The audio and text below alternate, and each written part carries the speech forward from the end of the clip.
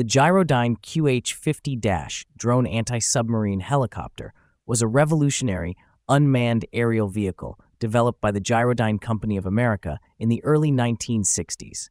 Its origin lies in the United States Navy's need for a long-range anti-submarine weapon that could be operated from destroyers too small to support full-size helicopters. The project evolved from the manned Rotorcycle, an experimental coaxial helicopter developed for the United States Marine Corps. Dash adopted the compact coaxial rotor design, which eliminated the need for a tail rotor, saving space and allowing for greater lift efficiency. Initially, the QH-50A and QH-50B models were built with Porsche piston engines and carried one Mark 43 torpedo. These were followed by the QH-50C, equipped with a Boeing T-54 turboshaft engine, enabling it to carry two Mark 44 torpedoes. Production of the C model reached 378 units by early 1966. The final fleet model, QH-50D, featured a more powerful Boeing T-50 BO-12 turbine engine, enhanced avionics, and increased payload capacity.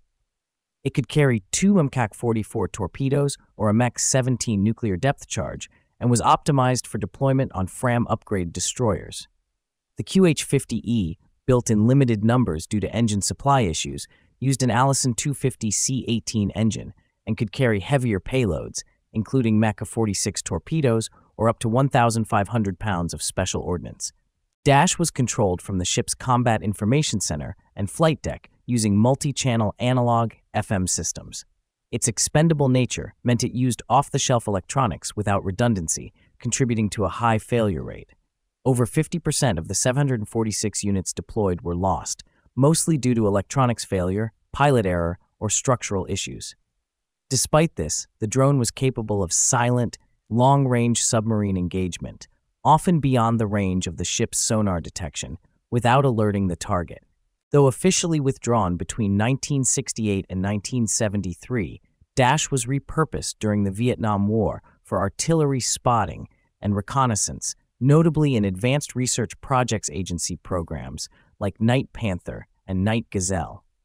A small number of QH-50Ds were used by the United States Army for radar calibration at White Sands Missile Range until 2006. Japan's Maritime Self-Defense Force also operated dash units aboard Takatsuki and Minegumo-class destroyers with greater success, attributed to more rigorous maintenance practices. Today, the QH-50 stands as a landmark in naval aviation history, being the first rotary-wing unmanned aerial vehicle to see wide operational deployment. Its legacy lives on in modern unmanned systems that trace their conceptual roots to this Cold War-era innovation.